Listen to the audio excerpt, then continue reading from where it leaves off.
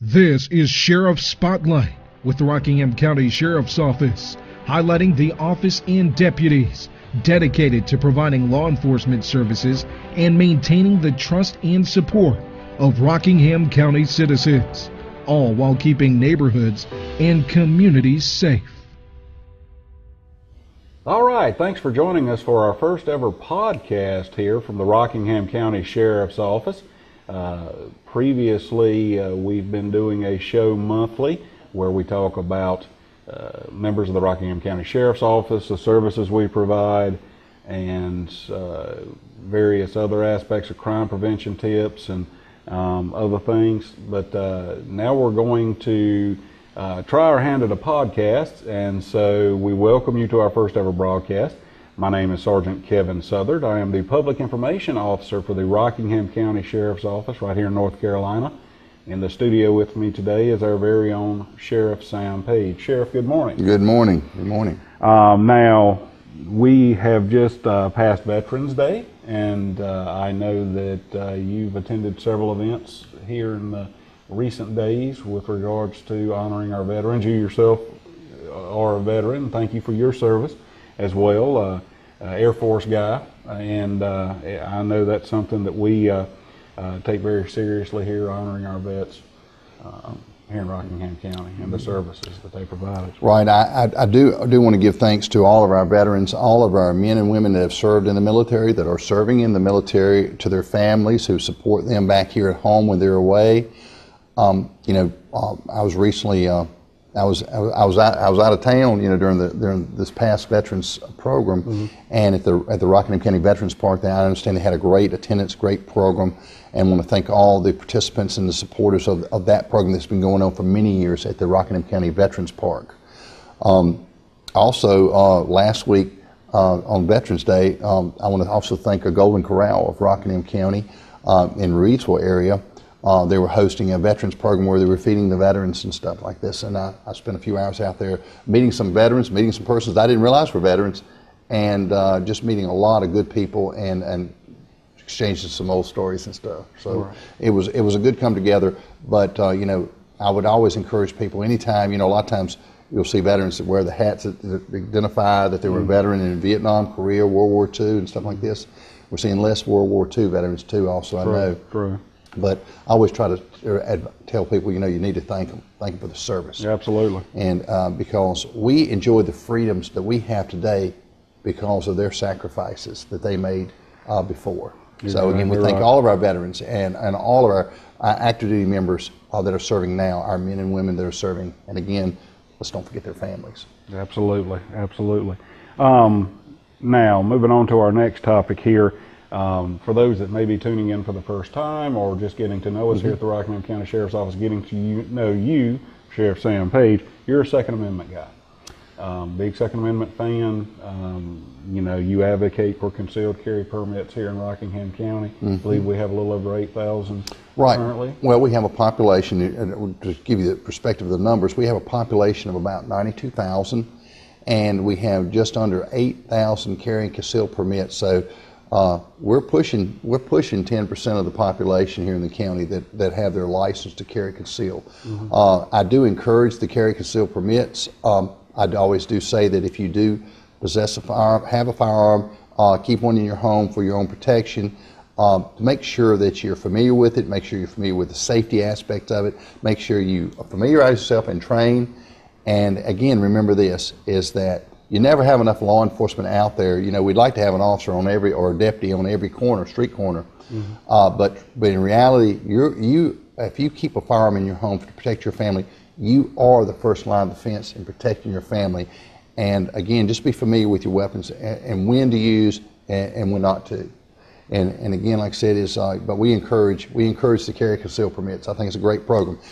I wish, and, and there's been a lot of conversation at the congressional level about the U.S.-wide carry authorization with, with persons that have the pistol purchase permits, like mm-hmm. in North Carolina, mm-hmm. they would be honored anywhere in the United States. Right. I would like to see our Congress move forward on those issues uh, because I don't think that when you leave your, st- your state boundaries that you should give up your right to protect yourself and your family.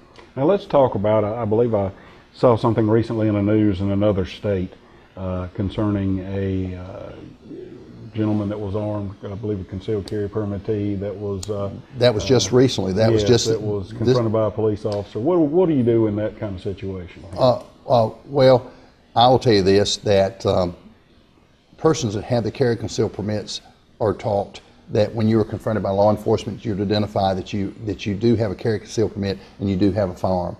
And and I tell people that you know I have no problem with that. I, I think it's Yeah. wonderful. Uh, the the criminal element, you know, they never tell me. right.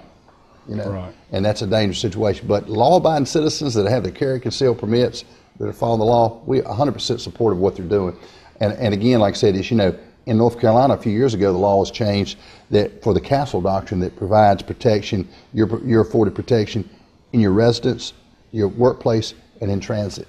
Exactly. Yeah. Exactly. So we have additional protections under the castle doctrine in North Carolina, and we thank our legislators for thinking ahead and, and supporting your right to protect yourself. Not only your right to bear arms, but your right to protect yourself. And you hit the nail on the head. I mean, uh, you know, as long as you and I both have been doing this, I mean, we could probably count on one hand the number of actual concealed carry permittees that have been an issue when we've been out and confronted them, and you know, not just up front. They- They're not the people that are, No. are, giving you the problem. The law-abiding citizens It's are the uh, criminals that are hiding theirs, concealing theirs, It's and the- not telling you. It's the criminal element. We need to put the, we need we need to put the issue where the issue's at. It's with the criminal offender. It's not the law-abiding citizen that's getting his carry conceal permit, that's getting his pistol purchase permit, that's following the laws and stuff like this. That's trying to protect himself and his family, whether it be in his home, his workplace, or en route uh, in transit. Uh, the law-abiding citizen, we support them 100%. Absolutely. So, you know, again, pay attention. What I would say is this, is anytime there's conversation on your rights to, uh, to bear arms to protect yourself, your Second Amendment concerns, uh, pay attention to what's going on in your state legislature, wherever you, whatever state you live in, and also pay attention to what's going on in Congress. Um, because there are persons in Congress and there are persons that are in some legislators that uh, do not support your right to bear arms. Right, right.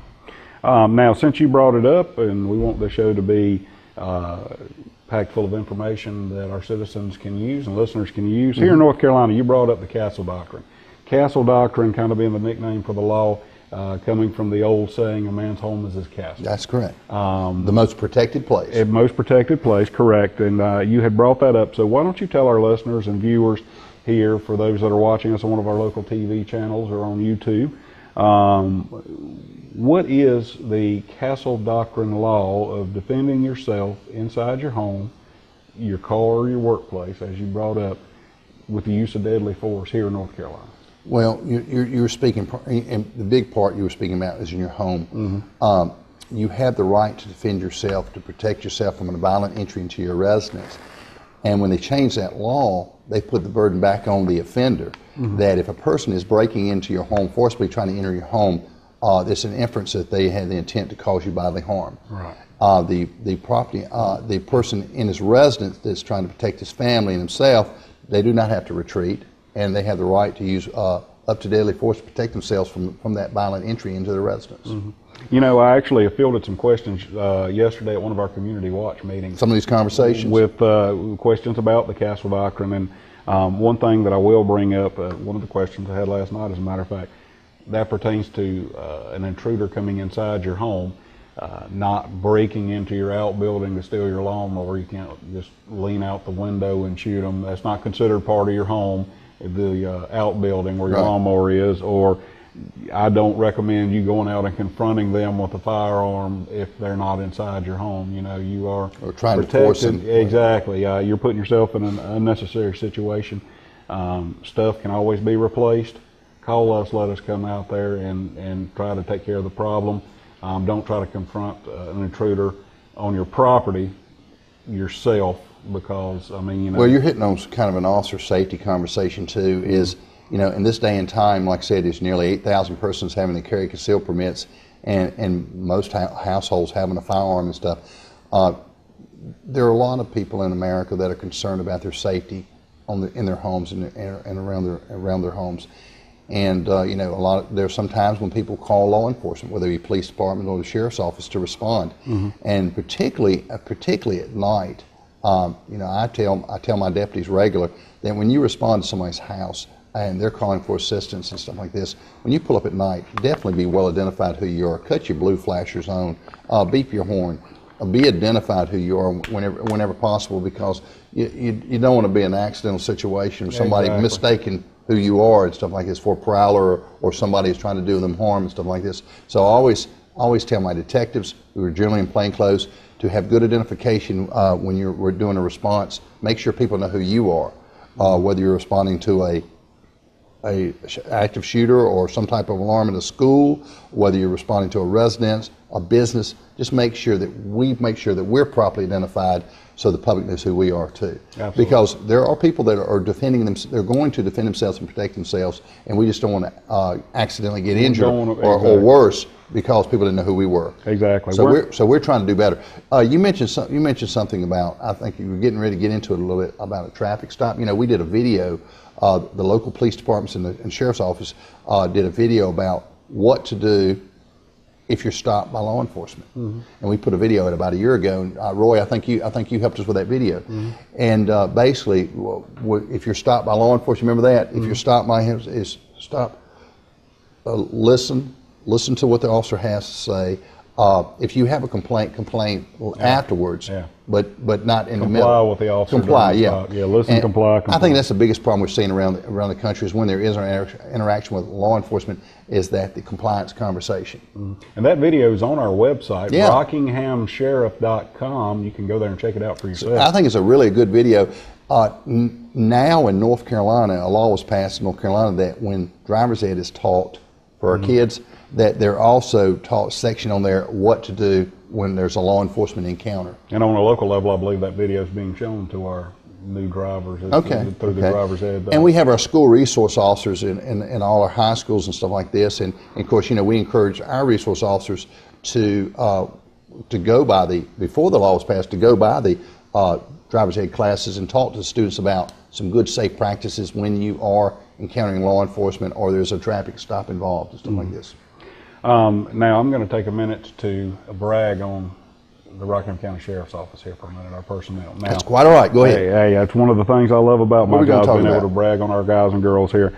Uh, no Shave November. Now, uh, we generally have uh, grooming standards here at the sheriff's office, no facial hair, that kind of thing, other than maybe a mustache or whatever. Basically, military regs for the um, uh, facial hair and so on and so But forth. during the month of November, We collect uh, donations from our guys and girls, and the guys can grow facial hair.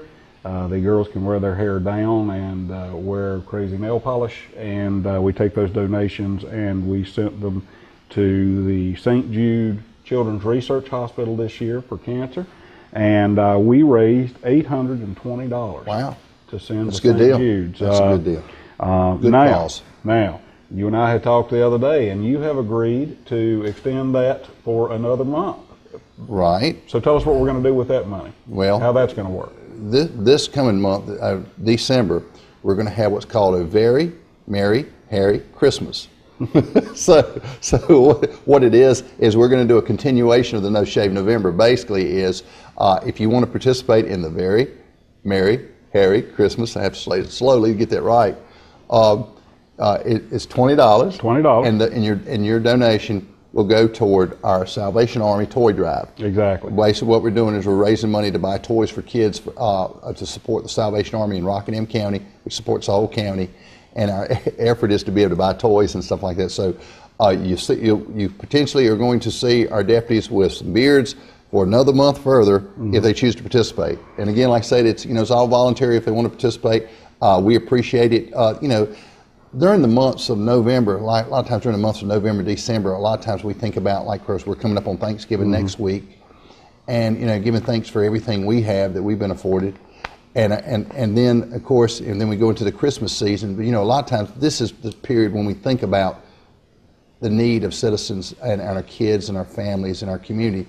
But you know, I always want to remind people is you know we do food banks year round Exactly. And and we work with our Salvation Army. We work with our service providers year round because you know what, homelessness and hunger is a year round issue. People don't just get hungry around the holidays. You know, we do our backpack programs with one of our uh, one of our local schools, the uh, Mall Street School, Yes. and uh, elementary, uh, and uh, you know we we continue. And there are other agencies that also support in Rockingham County. We've got a lot of food banks now, uh, more so than we saw. You know, I, I've been working in the county for more than 30 years and in law enforcement, and I've just seen it, the food bank process grow across the county. That just tells you there is a need.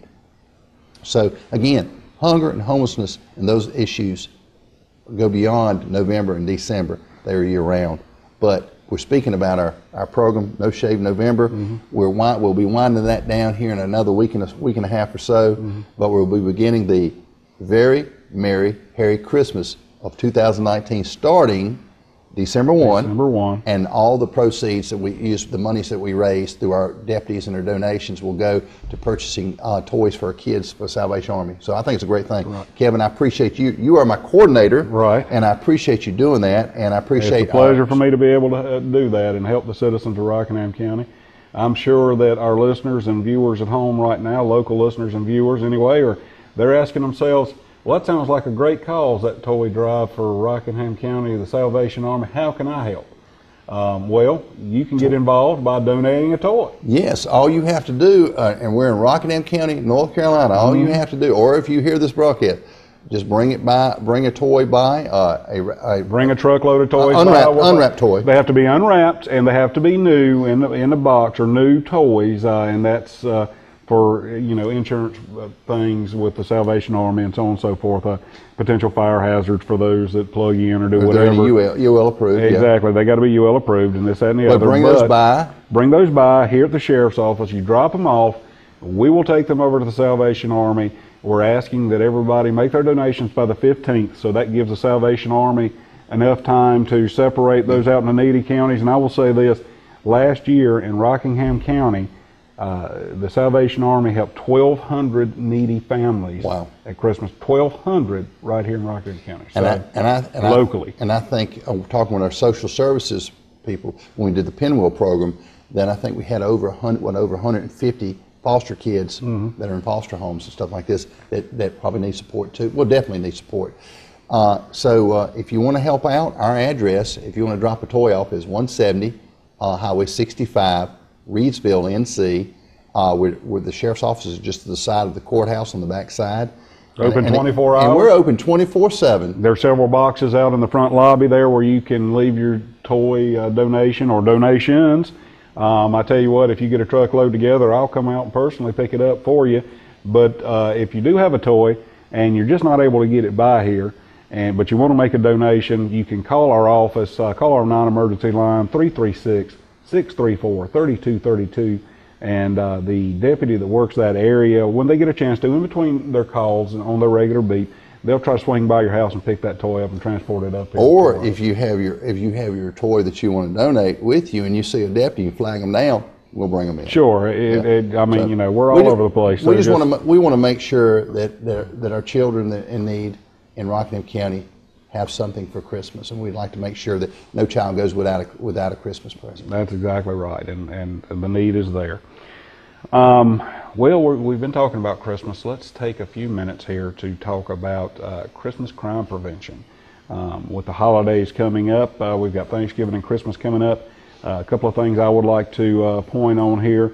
You know, most everybody has kind of those uh, members of the family that, you know, kind of have been in trouble before, this, that, and the other. And they may be in visiting, um, neighbors may be having people in.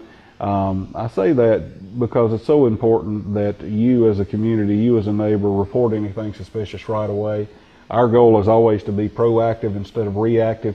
Um, we would rather, you know, come by and speak with a person that may be up to no good and find out that they're not, or kind of change their mind about doing anything because we're right there. If you Yeah, call uh, it, if you call it, call us, we'd rather we'd rather come and not be anything than not get To a come call after the fact. it come after the fact. Exactly. If you see something, say, something. and do it right away. If you see something suspicious in the morning as you're leaving for work at seven o'clock, call then. Don't call at five o'clock when you get back home because it's whatever. If there was anything going to have happened at seven o'clock, it's already over and done with uh, by the time you get home and report it to us. So. Um, So, so if you, so it won't be long. We'll start seeing Christmas lights up and Christmas decorations come up. Uh, any recommendations? If you have alarm systems, uh, uh, camera systems, any any recommendations? Um, well, you know, definitely I say a lot of people like to decorate, and they'll put that tree out in the uh, you know living room with the blinds open, the curtains drawn, I mean curtains pulled open, so that you, everybody can see the lights from the road and stuff like that. My recommendation is to at night before you go to bed, don't just leave that on because you're essentially lighting a beacon to your house for a potential bad guy or criminal thief to come up and look inside your house, see what you have. Turn those lights off, shut the blinds, shut the curtains when you go to bed or when you're not at home. Um, I also like to recommend uh, if you're going to uh, go out of town or even if you're just not going to be at home uh, during the day, night, whatever your work schedule is. Nowadays, uh, at the department stores, you can buy these little timers that you can plug the lights into. It's it's on a timer for certain times of the day. They're very cheap, you know, a couple of dollars. Get several and uh, you plug those into various things in your house, like a radio or a lamp or whatever, in different rooms. Set those to come on at different times during the day when you're not there. It gives the impression that somebody's at home. But you also, if you have an alarm system, cut your alarm system on. Cut your alarm system on. And, absolutely. And, and, and, here's one here's one thing we've seen recently was car break-ins. And when we say break-ins, it's not actually break. I mean, they're breaking by law. They're breaking, breaking in. in. But the thing about it is, a lot of cars were left unlocked. Right. Please if you have any packages, you're out shopping or stuff like this, or you're, you're out about during the Christmas season, the Thanksgiving season, during Black Friday, and when everybody gets mm-hmm. out, make sure that you put your packages in the trunk or, or cover them up where nobody can see them from the outside because a lot of times a, a, a bad guy with the intent to do bad things will walk by your car and see something and maybe smash a window and stuff like this. But a lot of times, what we're seeing, particularly at our residences, is persons when they're home, they're not locking their cars. Lock those cars even at your home. And if you have a garage door, hey, when you when you when you're not at home, put them down. So, and you know what? Put them. I recommend put them down when you're at home. Absolutely. Okay. Deny access that access, uh, easy access by the criminal to check out what you have. Yeah, we call it time, target hardening. Yeah, it, uh, yeah. It's a deterrent. It, uh, most criminals are lazy, so no, they don't want to go to any other, any additional, you know, effort to uh, break in or well, do anything. Kevin does our crime prevention also with the sheriff's office, and he goes out to a lot of community watch groups. But also, I was going to tell you, there I, I won't give any names, but there are some companies that have camera systems out there that are internet linked, mm-hmm. and they're very simple uh, they're reasonable. And I tell you what, they got some good camera and they got some good sound, and they will link to your smartphones. Exactly. Uh, my recommendation, if you, if you got a smartphone and you, and you want to put a little extra security around your house, uh, pop up a few of these cameras. They are not expensive at all, and I got to tell you, a lot of citizens have them today. So, as a matter of fact, I've got a note in here to do a public service announcement within our public service announcement. My PSA is to the would-be thieves uh, that are potentially going to uh, thinking about stealing something here in Rockingham County, there are a lot of cameras out there. And chances are you're going to get caught on camera.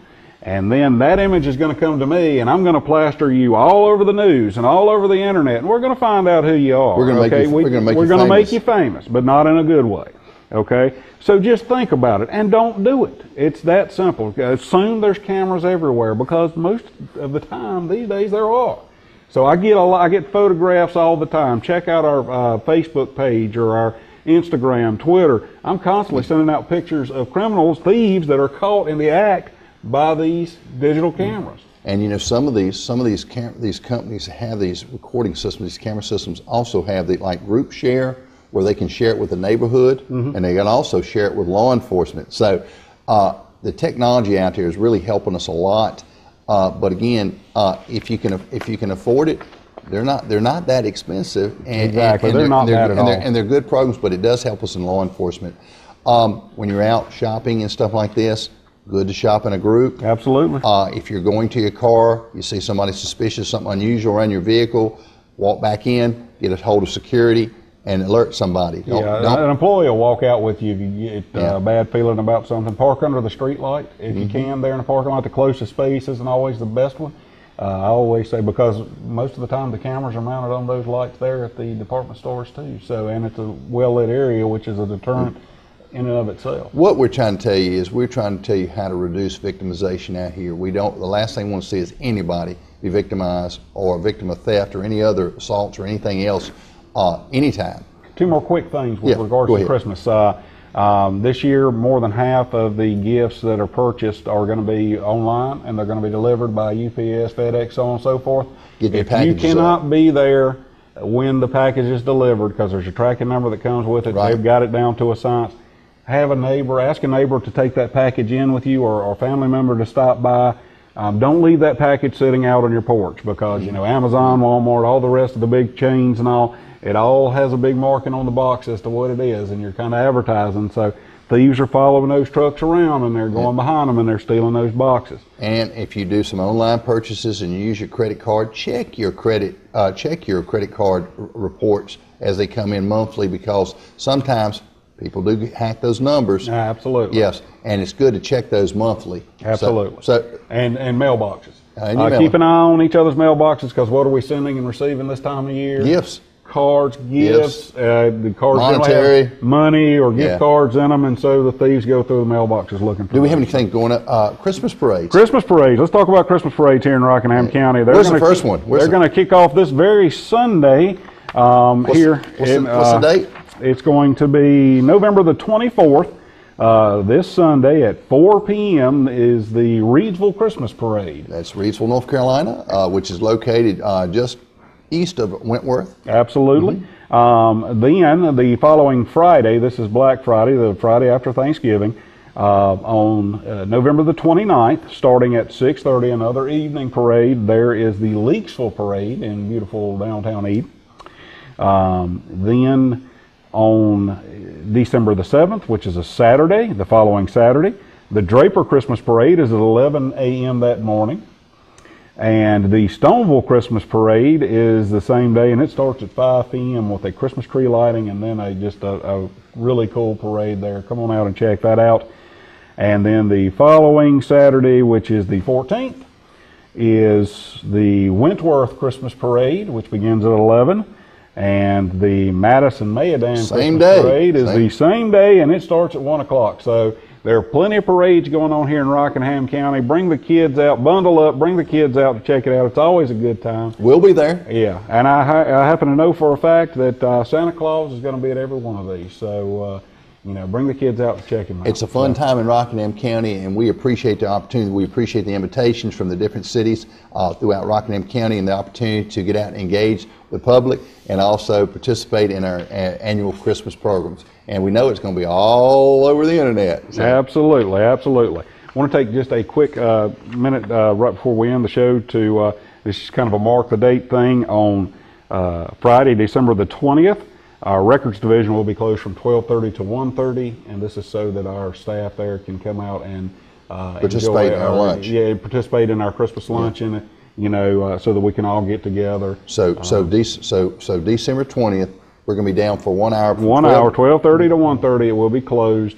We appreciate your uh, patience with that and your understanding. Um, you know, Christmas is about being together, and we want to celebrate it as a work family together as well. a lot of and you always put on a really good spread for the uh, Real, Christmas real, lunch. real quick, if you have a question about gun permits or anything, or, or carry conceal permits, go to rockingham.sheriff.com Mm-hmm. and you can see the information, the dates and times that we do those permits. Absolutely, and check us out on our social media sites: Facebook, uh, Instagram, and Twitter. So until next time, I'm Kevin Southard. This is Sheriff Sam Page, and thanks for tuning in.